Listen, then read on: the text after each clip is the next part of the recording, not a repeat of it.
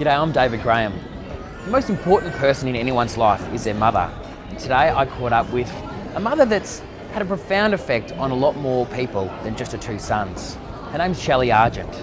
She's a national spokesman for PFLAG and she's just joined the new Queenslanders for Equality group, a group that's taking on the Newman government to explain to them, to sit down with them, to argue with them for a case for Queenslanders to keep the equality measures that are already been put in place and to bring more in place so that all Queenslanders are treated equally in the eyes of the law. G'day, Shelley. Hi, Dave. How are you? Thanks for coming along. Now, today we did something pretty interesting. We did. We launched uh, Queenslanders for Equality, and so I think that's a very large step for us. Uh, and the good thing is, even though it's the majority of um, the gay community, mm. it's inclusive and it's also got the um, the straight community yeah, yeah. and there was parents. a few mums there, eh? And what was really good was I noticed that there were people who were listening who had nothing to do with the group, and they came and stood in with their children as well. And I was talking to them, and they were very impressed and uh, all very supportive and accepting. Because that's the thing about all of these changes in society. It can't just be about those that are being affected. Everyone, mainstream, has to be involved, eh? Oh yeah, I agree. Mm. And again, I think what these people were realising was they're not affected mm. by the uh, repealing of legislation and such things, mm. and they know they have nothing to fear, and so they were there to support. And I just thought that was great. I was yeah. really impressed. Because that's the thing is, you just can't stand by and let other people have what you take for granted taken away from them. No. I mean, as a mother, that must be shocking oh, for you. Well, it is. I mean, when James came out in '95, all he had was the right to be gay in mm. Queensland.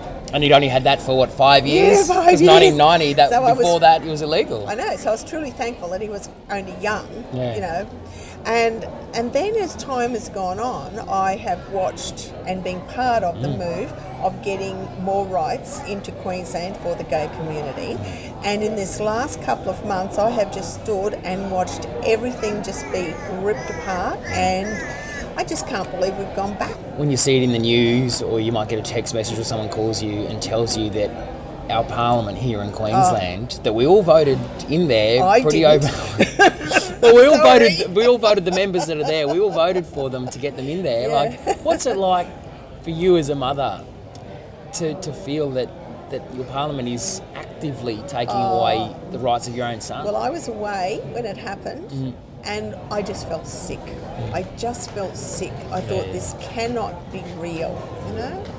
I, I can't get my head around it. You had a chat with an MP yesterday. Like, did you feel that he actively wants to hurt people like me no, and your no, son, no. or I is mean, he trying to do something to benefit someone? Why are they doing this? You could see that he thought he was doing the right thing, mm. but when I pointed out to him that my son or anybody else in the gay community getting married had no impact, no effect on his family, yeah. but his actions had so much impact on my son and my family mm. that he, you could see he sort of stopped and thought, oh yes. Mm. And I mean, but but it's did you think you, cha- you may have changed a few I of his opinions? I hope I did, but I think I actually made him stop and think about it, mm. and think that it's not just about that core conservative group. And I mean. The, the country is not as conservative as they like.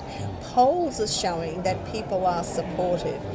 Christian people are supportive, and the polls are showing the majority of them are.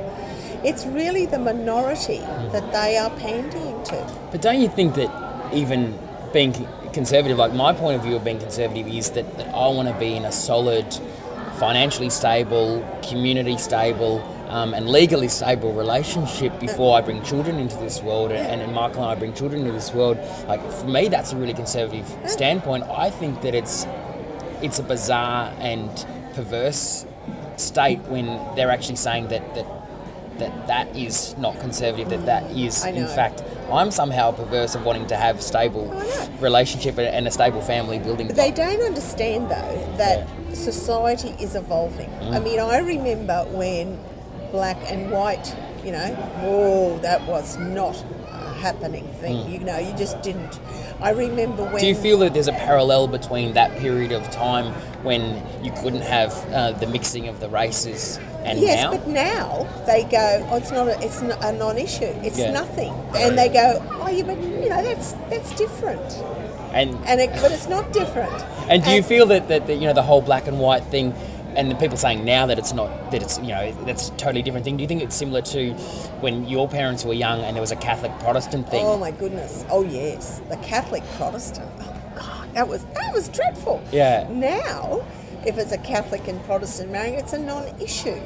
no one even thinks about it, do they? No, they don't. But families would break up, just like with this issue, because if their son or daughter married someone from the opposite religion. Mm. And, and and again, I think in 20 years' time, people are going to be thinking this was all a non issue, who cares? And they will find that society is just moving on. So yeah, I mean, parts of the world just keep rolling on. The world doesn't uh, fall in on those countries. No. But there are parts of the world that stick on some of those things. Catholic Protestant thing has stuck in, in Northern Ireland now. They're moving on from that. And then you've got South Africa for a long time. The black white thing stuck. But there has to come a time where those uh, human induced uh, separateness Yeah. that we try and impose upon ourselves, it does have to fall away eventually, it does, doesn't it? It does, and it will. And again, I think when I talk to the MPs in Canberra, they all know it's inevitable, Mm. but it's just like not on my shift. They, they think they're that little that little kid in Holland with a finger in the dike. Is that what they think they are? yeah, that's right. Uh, yeah, and that's it. And I mean, I just really wish that some, most of the MPs would just, instead of doing the easy thing, do the right thing, Yep. stand up and be heard and show leadership and do what's right. There's a baby over Yeah, there crying. Stop crying, baby. Now, does it hurt you to think that Queensland government is going to enact laws, or they're saying that they're going to enact laws that may take away the ability for you to hear those cries from your own grandchildren? Well, yes, it does. Because again, it's a case of.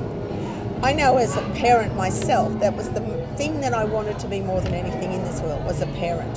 Yeah. And so if somebody said to me, you can't be a parent just because I don't like your sexual orientation, mm. and very often I think a lot of same-sex parents, they go that extra mile mm. because they understand the value of having their child and how precious it is, where a lot of the younger straight couples, they don't have that because it's just something that happens, mm. not always planned. Mm. And so they don't appreciate what they've got a lot, a lot of the time. Yeah. Hmm. Well, I appreciate that we've got you on board, and um, I really look forward to where we're going to go from here and how we're going to engage the government Yeah. and let them know, and maybe even let these people know, like the MP that you spoke to, that these laws are going to hurt people, and Yes. there is no need to hurt people when you're a democratically elected government and you're there to Yeah. serve your people. Yeah, that's right. And that's what they should be doing, not working against them. Too right. Yeah, thanks.